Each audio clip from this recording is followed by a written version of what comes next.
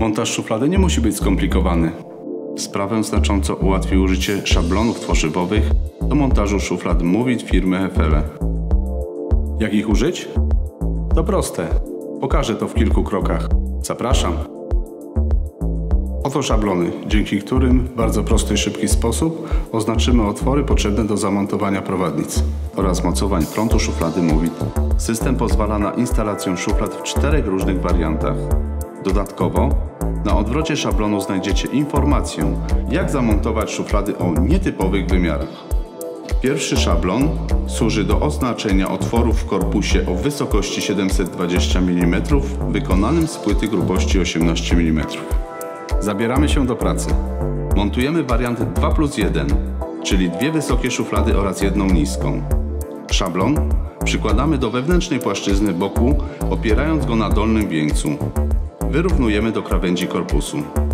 Na szablonie odnajdujemy otwory dla wybranego układu szuflad i poprzez te otwory oznaczamy miejsca, w których przykręcimy prowadnicę. To samo robimy na przeciwległym boku korpusu. Nasz następny krok to narysowanie linii oraz przykręcenie prowadnic. Przyda się do tego kątownik.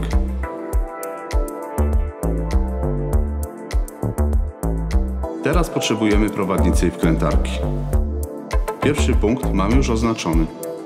Linia, którą przed chwilą narysowaliśmy, przecina kolejne otwory w prowadnicy. Wiemy już więc, gdzie należy ją przykręcić. Zamontowaliśmy prowadnicę o udźwigu do 30 kg. Jeśli w trakcie użytkowania będziesz chciał zwiększyć udźwig szuflady np. do 50 kg, to system pozwala na zamontowanie dedykowanej prowadnicy na tych samych otworach. Złożymy teraz boki szuflad z dnem oraz plecami. Zobaczcie jak łatwo się to robi. Warto pamiętać, że dno i plecy szuflady docinamy do tej samej szerokości oraz że wysokość pleców w szufladzie z relingiem to 157 mm. Wszystkie informacje znajdują się na odwrocie większego szablonu.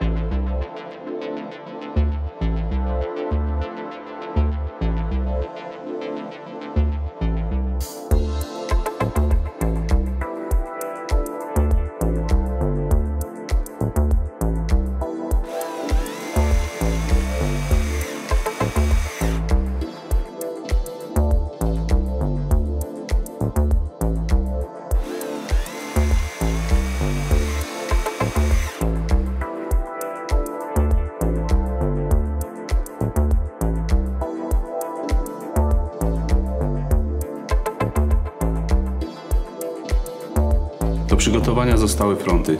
Do ich instalacji wykorzystamy drugi szablon. Pierwsze otwory oznaczamy w dolnej części frontu, natomiast wyżej znaczymy otwór do instalacji relingu.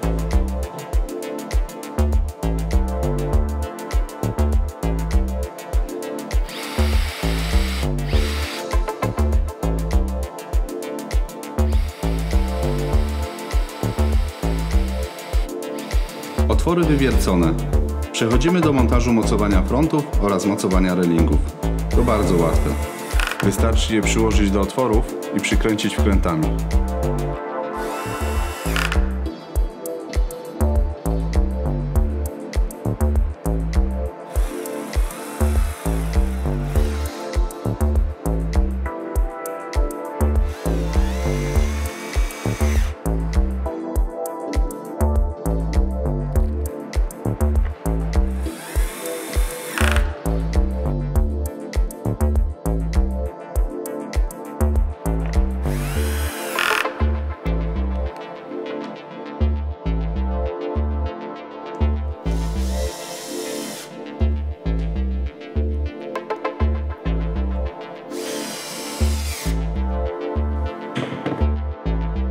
Czas na założenie szuflad na prowadnicy.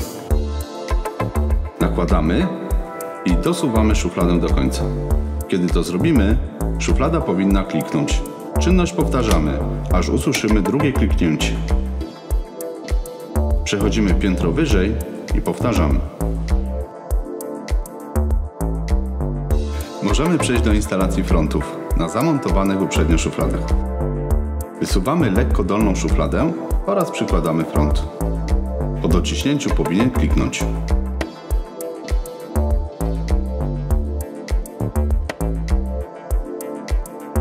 Czynność powtarzamy z kolejnymi szufladami.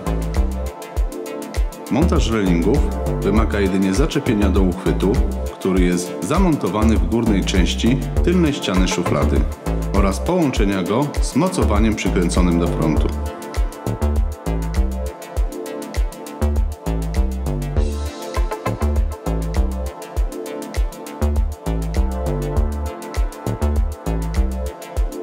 Koniec szafka może potrzebować drobnego doregulowania. Dzięki prostemu systemowi wyrównamy nałożenie na boki korpusu oraz wykalibrujemy szczeliny pomiędzy szufladami. Dostęp jest od góry, co bardzo ułatwia regulację. Jak widzicie, do montażu szuflad nie użyłem żadnych narzędzi pomiarowych poza kątownikiem, który posłużył do wytrasowania linii montażu prowadnic. Wystarczą jedynie szablony tworzywowe Movit firmy Hefele, które znacząco ułatwiają i przyspieszają pracę oraz minimalizują szansę na popełnienie błędu przy ustalaniu miejsc na otwory. Każdy sobie z tym poradzi.